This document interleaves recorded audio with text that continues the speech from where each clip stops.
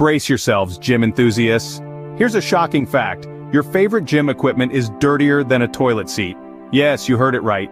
Studies show that gym equipment harbors more germs than your average toilet seat thanks to the sweat and lack of cleaning. So next time you hit the gym, remember cleanliness is next to godliness.